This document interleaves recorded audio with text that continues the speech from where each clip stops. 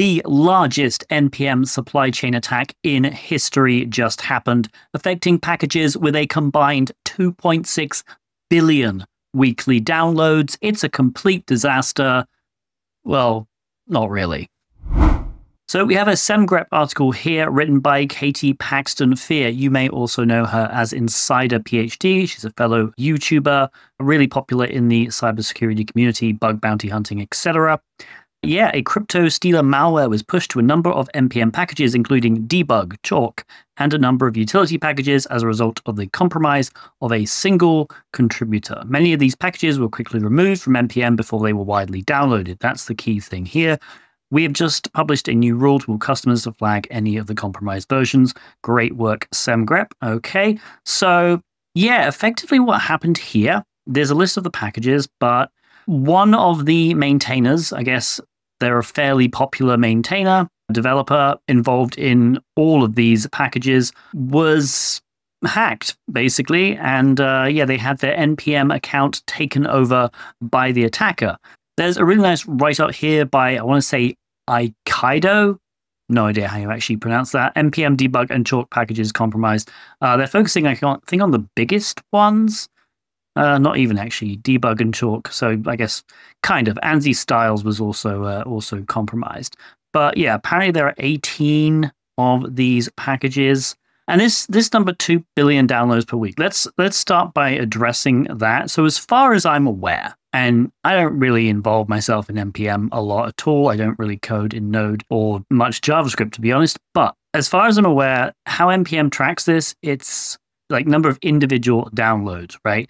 And a download doesn't necessarily mean it's being included in a single project, right? So, so one project that say uses Chalk might download that several times in a week, all right? And that might be because there are various automated checks and compilations that are done of the project if you commit to a Git repo, for example, you can configure it to run a bunch of commands, right? To run various checks against your code, make sure it compiles, make sure everything works nicely. And that can download directly from NPM. And you always want to use fresh packages for that, right? So the 2 billion downloads per week is probably a hyperinflated number, I would say.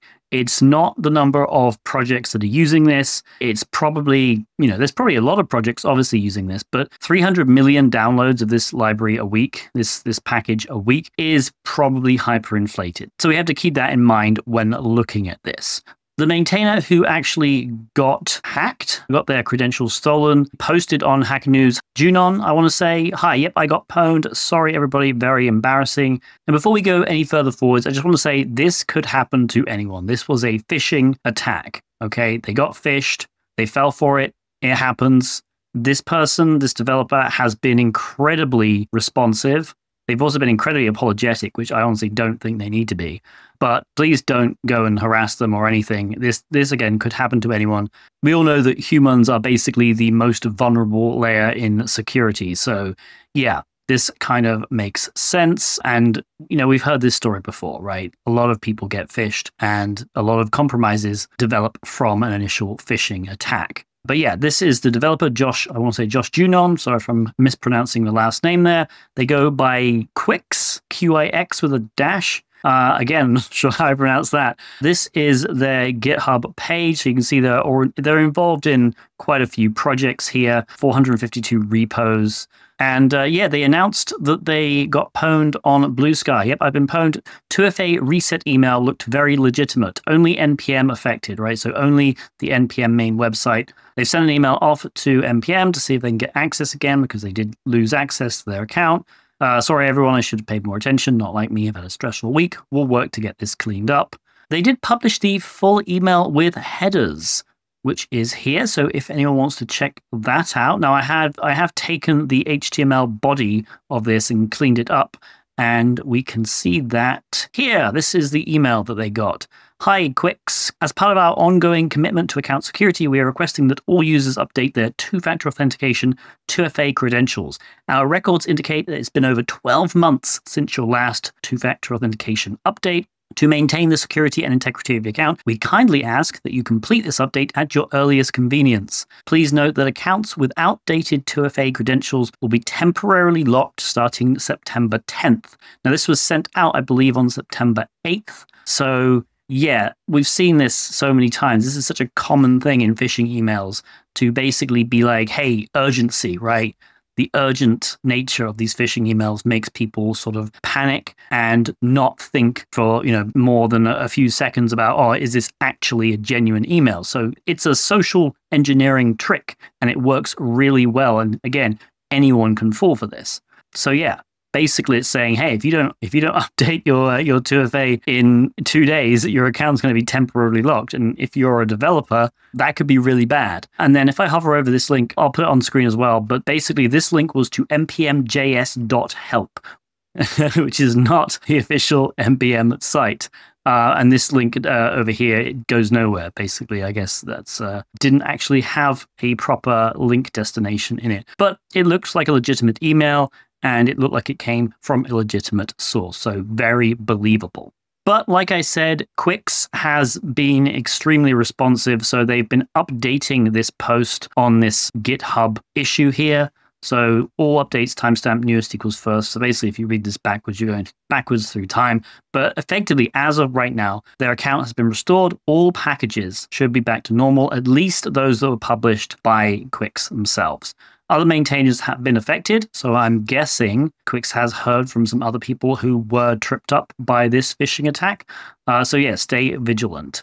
I think honestly that's I mean yeah you can read through this it's kind of uh, it's kind of nice that they have been just updating this throughout today but yeah very very interesting development here and here is the code. So I found this. There are obviously many examples, but this one is from the Simple Swizzle library. And it's literally this block of text. So, as far as I'm aware, this is all legitimate code.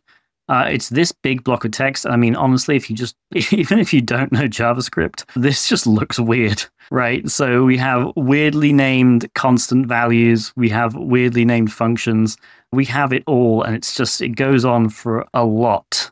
And yeah, so what this actually did, there are a few people who have sort of decoded this but effectively, this was like a, it wasn't a crypto miner, it wasn't anything like that. But what it seems to be doing, it affects client side JavaScript only. And it basically hijacks a bunch of JavaScript function calls and looks for cryptocurrency addresses, mostly Ethereum.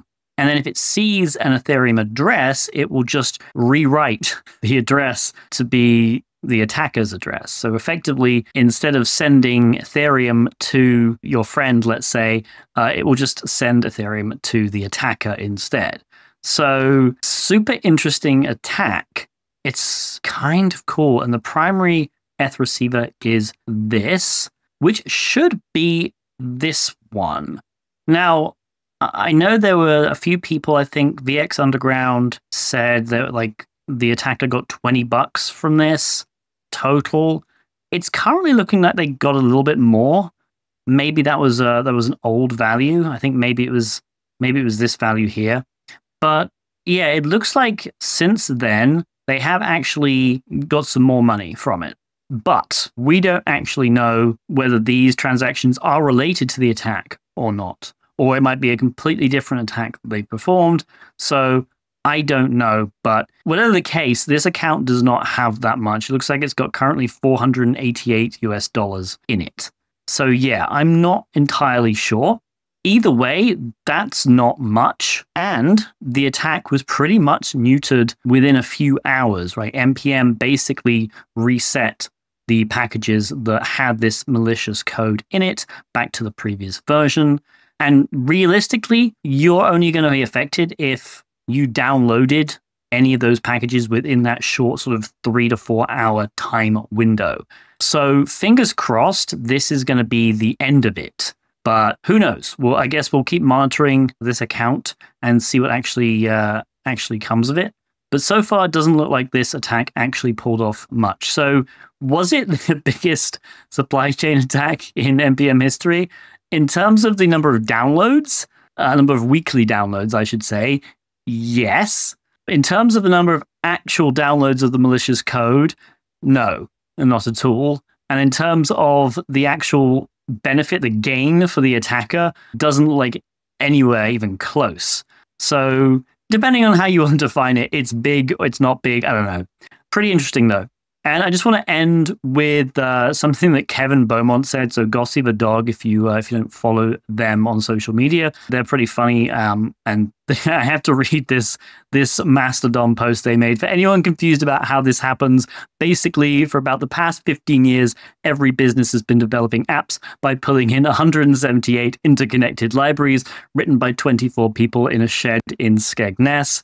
For about the past two years, orgs have been buying AI vibe coding tools where some exec screams make online shop into a computer and 389 libraries are added and an app is farted out. The output if you want to own the world's companies, just phish one guy in Skegness. Obviously, uh, humorous, but there is a sort of hint of truth to this. Uh, yeah, so honestly, check these uh, these libraries let's go back. Check these libraries if you do use them. If you do code using NPM libraries, if you code using JavaScript Node, just double check that any of your code that uses any one of these libraries doesn't have one of these malicious versions in it. Again, you probably aren't affected, but it is always good to be safe. So, yeah, thanks for joining me for this short update video. Let me know in the comments your thoughts about this. And yeah, I will see you next time.